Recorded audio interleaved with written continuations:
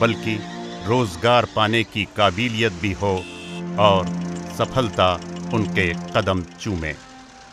इस विचार के पीछे एक छोटी मगर गहरी कहानी है, नए युग के आरंभ की कहानी। पिताजी की अचानक मृत्यु के बाद पुरखों से चली आ रही संत सिंघा जी की विरासत का मुझे महंत बना दिया गया। लोग मेरे पास आते। अपने बच्चों को मेरी तरह सॉफ्टवेयर इंजीनियर बनाना चाहते या मैं उनको ऐसी ही कोई बड़ी नौकरी दिलवा सकूँ। मैं उनसे कहता, नौकरी के लिए योग्यता चाहिए, डिग्री चाहिए। दो साल बाद वो अपनी ज़मीन बेचकर, अपना सब कुछ गंवाकर, एक फर्जी डिग्री लेकर हसरत से मेरे सामने खड़ा था कि अब तो उसके लड़के को साहिब की नौकरी मिल ही जाएगी। मगर वो डिग्री नहीं, कागज़ का एक टुकड़ा थी, जो उसे कुछ भी नहीं दे सकती थी।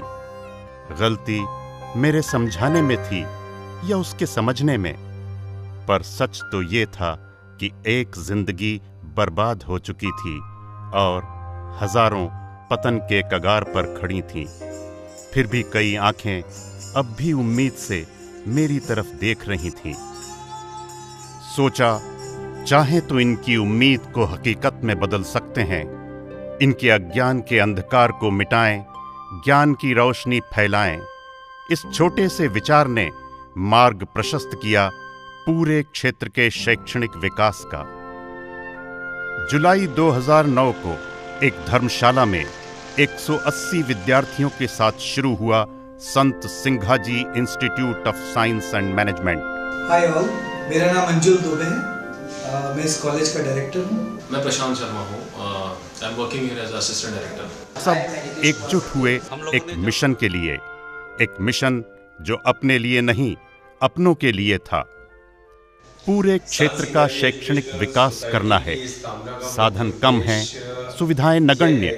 लेकिन उद्देश्य पवित्र। वो शहर में जाके शिक्षा प्राप्त नहीं कर सकते इसलिए कि उनके पास उतने साधन और उतने पैसे उपलब्ध नहीं होते। तो विशेष तौर पे ये हमने यहाँ पे जब सर्वे किया तो देखा कि एक मजदूर का बेटा ट्वेल्थ तक पढ़ने के बाद वापस मजदूर का बेटा मजदूर बनता है। और चाय वाले का चाय वाला इस परिपाटी को तोड़ना है। नहीं कर सकता कि वो क्या करे। हमने यहाँ की स्टडी की तो हमने ये पाया कि यहाँ का यूथ काफ़ी मिसडायरेक्टेड है, उनको डायरेक्शन की बहुत ज़्यादा ज़रूरत है। तो जब हमने संस्थान बनाया तो इसका उद्देश्य यही है कि यहाँ का यूथ यहीं के डेवलपमेंट के लिए सहयोग करे। इसके लिए बहुत ज़रूरी होगा एजुकेशन को बेस बनाना और वहाँ से स्किल्ड एम्प्लॉयबल यूथ को आगे लेके आना। यहाँ संत सिंगा जी साइंस एंड मैनेजमेंट में हमने B S C B com B A जो कि ट्रेडिशनल कोर्सेज कहलाते हैं, पारंपरिक कोर्सेज को हमने, इसका मुख्य उद्देश्य ग्रामीण युवाओं को, विशेषकर युवतियों को, महानगरों में मिलने वाली उच्च शिक्षा, उनको क्वालिटेटिव उच्च शिक्षा प्रदान करने का हमारा विशेष उद्देश्य था। हम न सिर्फ़ स्टूडेंट्स को डिग्रीज देते हैं, लेकिन मुझे ऐसा लगता है कि हम उन्हें पूरा भविष्य देते हैं। नर्मदा नदी के नाभि स्थल, नेमावर के पास एक छोटा सा गाँव मध्य प्रदेश की राजधानी भोपाल से 88 किलोमीटर की दूरी पर राष्ट्रीय राजमार्ग उनसाठ से लगा चंदनपुर। कब संदलपुर बन गया, शायद उसे भी पता न चला। हरे भरे खूबसूरत खेत कल कल करती नदियाँ, चारों ओर फैला खिवनी अभयारण्य का सुंदर घना जंगल और उसमें विचरण करते हिरण। प्रकृति मालवा के इस क्षेत्र पर पूरे दिल से मेहरबान हुई है, लेकिन गाँव की ज़िंदगी अपनी ही लीक पर चलती है, अपनी ही धुरी पर घूमती है। एक तरफ़ यहाँ सब कुछ है तो जो नहीं है, वो है शिक्षा के महत्व की पहचान। सबसे पहले जो प्रॉब्लम हमारे सामने आती है, वो है वैल्यू ऑफ़ एजुकेशन यहाँ पर एजुकेशन की इम्पोर्टेंस सबसे नीचे आती है क्योंकि उसका एक सबसे बड़ा रीज़न ये है कि एजुकेशन को लेकर कोई भी सक्सेस स्टोरीज यहाँ पर क्रिएट नहीं है। कोई भी एजुकेशन या पढ़कर कोई बहुत बड़ा आदमी नहीं बन जाता। धीरे धीरे ही सही लोग शिक्षा के महत्व को पहचानने लगे और हमारे साथ हो लिए अब कारवां बढ़ने लगा। प्रयास सफल होने लगे। कोशिशें रंग लाने लगीं। और मार्च 2010 में बीस हज़ार स्क्वायर फीट में कॉलेज की अपनी इमारत ज्ञान के सूर्य की तरह उदित हो रही थी। खूबसूरत कॉरिडोर, रोशनी और हवादार क्लासेस, लेबोरेटरीज और खेल का मैदान अपने अधूरेपन में भी कामयाबी की इबारत लिखने को तैयार थे। लेकिन सिर्फ़ कोई इमारत कॉलेज नहीं हो सकती। इस इमारत को Sant Singhaji institute of science and management का आकार देना था तो चुनौतियाँ दो दो हाथ करने को तैयार थीं। चुनौतियों के बारे में बात करें तो जब हमने इंस्टीट्यूट शुरू किया था काफ़ी सारी ऐसी चीज़ें हैं जहाँ पर हमको काफ़ी कठिनाइयों का सामना करना पड़ा। हमारी सामाजिक व्यवस्था ऐसी है कि लोग लड़कियों को कॉलेज तक पढ़ाना नहीं और बाद चाहते में शादी कर देना चाहते थे लेकिन फिर वो कॉलेज से सर वगैरह आए हमारी टीम ने घर घर जाकर उन्हें आश्वस्त किया। घर पहुँच बस सेवा शुरू की। आज हमारी बसें 55 किलोमीटर दूर से लड़कियों को सीधे घर से कॉलेज और कॉलेज से सीधे घर पहुंचाती हैं। पचास से पचपन किलोमीटर की दूरी पर छात्राओं का विशेष ध्यान रखा जाता है। उनको घर से ही पिकअप किया जाता है और मैं जवाबदारी के साथ घर पे पालक आश्वस्त हुए और इंस्टीट्यूट में लड़कियों की तादाद 60 परसेंट तक पहुँच गई। हमारे जितने भी स्टाफ मेंबर्स हैं वो यहाँ से दूसरे क्षेत्रों के उनको यहाँ पर लाना उनको इनक्रेज करना भी हमारे लिए चुनौती रहती है कि हम कम सैलरी देकर भी उनसे क्वालिटी एजुकेशन दिलवा सकें और इन बच्चों को आगे ले जा सकें। हमने ऐसे योग्य शिक्षकों को तलाश किया। पढ़ाने का तरीका भी नया खोजा गया। मन में एक संकल्प लिया। सिर्फ़ शिक्षा हर हाल में। जब बारिश में नदियाँ उफन कर इनका रास्ता रोक लेती हैं तो यही शिक्षक और विद्यार्थी शासकीय अवकाश में छूट गई क्लास को पूरा करते हैं। दूसरी बड़ी समस्या है आर्थिक विषमता। यहाँ जो लोग पैसे वाले हैं, वो तो फ़ीस दे सकते हैं, लेकिन जो गरीब हैं, वो वो पढ़ना चाहते हैं, कुछ बनना चाहते हैं। उनका संघर्ष जारी है, कभी गरीबी से तो कभी कुदरत से। सर, मेरा नाम बबीता पवार है। मैं अभी संत सिंगाजी कॉलेज में बीए सेकेंड ईयर की छात्रा हूँ। इन्होंने कॉलेज के बारे में बताया मेरे तो मेरे को काफ़ी अच्छा लगा और जब पैसे की बात बात की उन्होंने भी मेरे से बात की और बोले कि इतने पैसे लगेंगे तो मेरे पापा भी रोने लगे और मेरे को अच्छा नहीं लगा।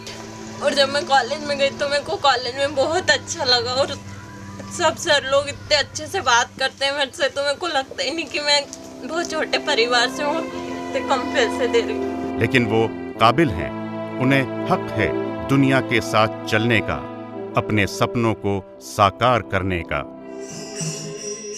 माँ ने बचपन में ही बताया था, सिंघा जी ने कहा है, हे निराकार, निर्गुण प्रभु, कर्म से मैं तेरी पूजा करता हूँ। प्रयासों के पुष्प तुझ पर अर्पण करता हूँ। सब समान हों, यही प्रार्थना है मेरी। सबको समान रूप से शिक्षा का अवसर मिले। अब यही कोशिश है हमारी। कुछ मदद ये अपनी कर सकते हैं तो कुछ हमें करना है। एक जिद है सबको साथ लेकर चलने की, आगे बढ़ने की। जो यहाँ इकोनॉमिक प्रोफ़ाइल है, जिस तरह का बैकग्राउंड है स्टूडेंट्स का, वो फ़ीस भी पे नहीं कर सकते। यहाँ पर हमारे यहाँ करीबन साढ़े सात सौ बच्चे हैं। उन साढ़े सात सौ बच्चों में से सबकी फ़ीस अलग अलग है। कई ऐसे बच्चे हैं, लगभग ढाई सौ के करीबन ऐसे बच्चे हैं, जो बिल्कुल भी फ़ीस नहीं दे पाते तो उनकी हेल्प करना, उनको आगे लाना, प्रतिभाओं की कमी बिल्कुल नहीं है। उनको पढ़ाना है, उनको अगर क्वालिटी एजुकेशन देना है। अगर विद्यार्थियों को शहरी मापदंडों पर खरा उतरना है तो हमें आधुनिक शिक्षा की ज़रूरत को समझना होगा। इसलिए कॉलेज ने 70 लैपटॉप्स और 30 डेस्कटॉप से सुसज्जित कंप्यूटर लैब स्थापित की, जिसमें वाईफाई इंटरनेट 2 एमबीपीएस की लाइन से छात्रों को पूरी दुनिया से जोड़ रहे हैं। बेंगलोर से क्वालिफाइड प्रोफेशनल्स वीडियो कॉन्फ्रेंसिंग के ज़रिए विद्यार्थियों की स्पेशल क्लासेस लेते हैं।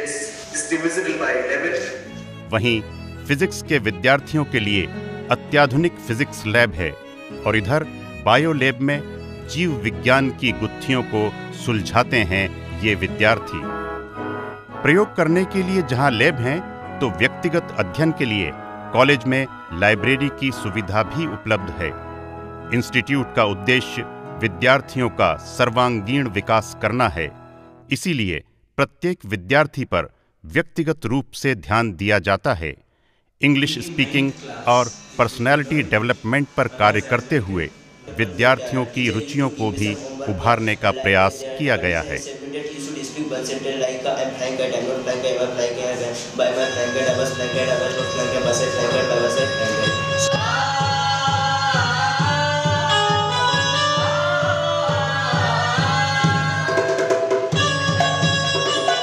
गायन वादन के साथ ही योग के माध्यम से स्वस्थ युवा पीढ़ी का निर्माण कॉलेज परिसर में हो रहा है।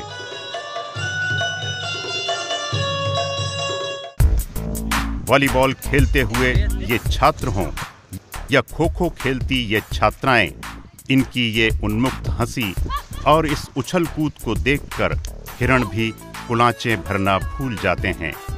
कॉलेज परिसर से कुछ दूर छोटी छोटी बालिकाओं का छात्रावास। आओ इन्हें भी सिखाएँ कंप्यूटर इंग्लिश स्पीकिंग और इनसे सीखें माँ रेवा का ये यशोगान।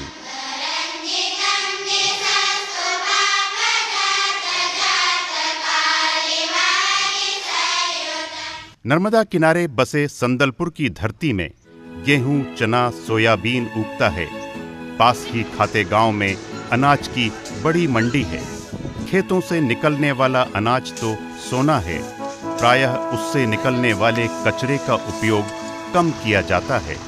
तो महाराष्ट्र में पुणे बेसिक ऑर्गेनाइजेशन है जिसका नाम है ARTI that is appropriate rural technology of India ये टेक्नोलॉजी के तहत हमने इन स्टूडेंट्स को शॉर्टलिस्ट किया। इंस्टीट्यूट ने कई विद्यार्थियों को प्रशिक्षित किया ताकि वे इस एग्रीकल्चर वेस्ट का उपयोग कर उद्योग लगा सकें।